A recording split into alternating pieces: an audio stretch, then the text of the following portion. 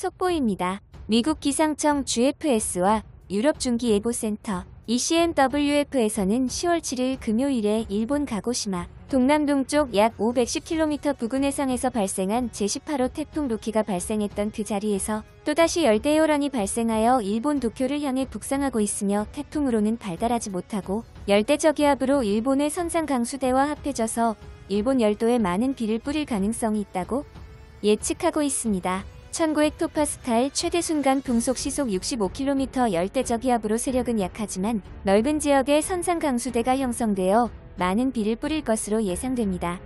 10월 8일 토요일에도 비구름이 천천히 이동하는 것을 확인할 수 있습니다. 한편 트로피칼 TV에서는 10월 10일 월요일에 태풍으로 보이는 중심기압 1500토파스칼의 열대요란 태풍의 씨앗이 일본 도쿄 해상까지 이동한 것을 보여주고 있습니다. 태풍이 일본 도쿄 근처에 상륙할 수도 있음을 예측해 볼 수도 있습니다. 하지만 15일 이상의 장기 시뮬레이션 예측 결과를 내놓는 트로피칼 TV는 장기 예보를 상상하는 것에 대하여는 높은 점수를 줄 수 있지만 모델 예측 결과 신뢰도에 대해서는 큰 신뢰성이 담보되지는 못할 수도 있음을 알아야 합니다. 이 예측은 내일 10월 3일 개천절에는 또 바뀌어 있을 수도 있으니 가까운 미래의 기상 예측은 정말 수시로 변하기에 정확한 예측 결과 신뢰도를 얻어내기란 정말 어렵습니다. 시청해주셔서 진심으로 감사드리겠습니다. 구독과 좋아요 알람 설정을 꼭 부탁드리겠습니다.